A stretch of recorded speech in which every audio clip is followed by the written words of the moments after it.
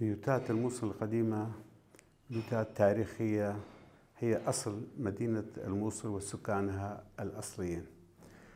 تم تدميرها من قبل الطائرات أثناء تحرير مدينة الموصل في عام 2017 لطرد القوات الداخلة لداعش اللي دمرت مدينة الموصل بالكامل. بقت هذه المنطقة آه، تحت أنظار الحكومة وتحت أنظار الحكومة المحلية والحكومة المركزية آه، مهدمة لعدم تخصيص مبلغ آه، لإعمار هذه المدينة. يتم آه، بيع هذه البيوت بأسعار خيالية عن طريق مكاتب وعن طريق الشركات وراءها جهات خارجية أقليمية وراء هذه المكاتب.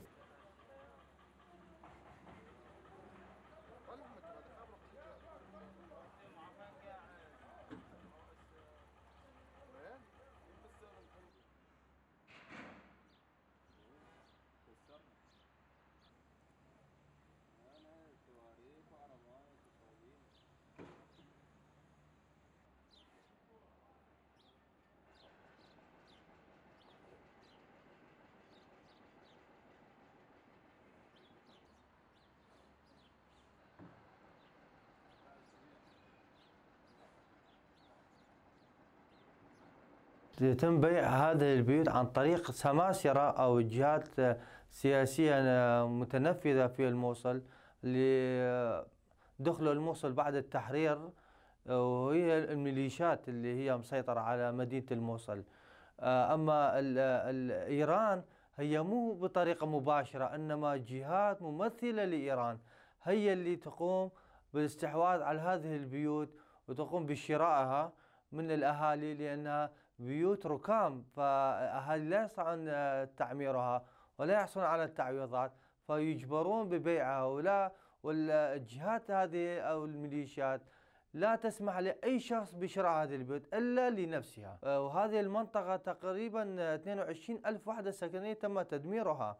وماكو تعويضات الحكومة لم تتم تعويض الأهالي أو رفع الركام بهذه المنطقة.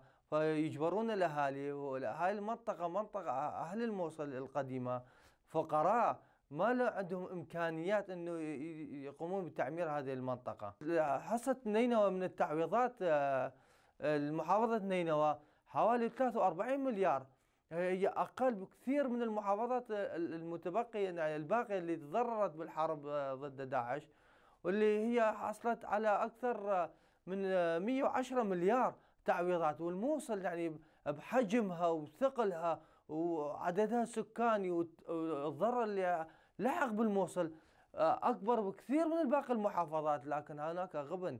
الحكومة هي يعني هي آه، يعني آه، هي إيران تريد السيطرة على الموصل بكل جهات. تريد السيطرة انه الموصل منطقة استراتيجية وتريد إيران السيطره وتسوي تمديد للفصائل المسلحة اللي بسوريا وبلبنان هذا ما يتم إلا عن طريق الموصل. لهذا ثقل إيران كلها عذبها على الموصل. أي موجودة الجثث بعدها بالجو الإنقاذ والدفاع المدني والجهات الحكومية جو طلعوا كم كم جثة جو القاع.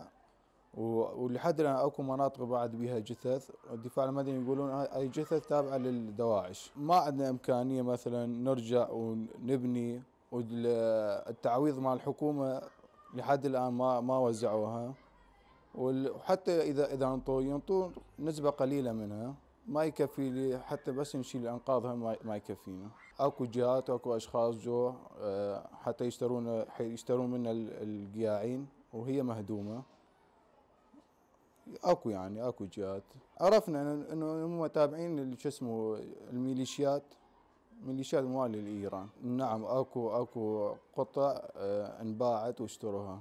هذول نفس الأشخاص.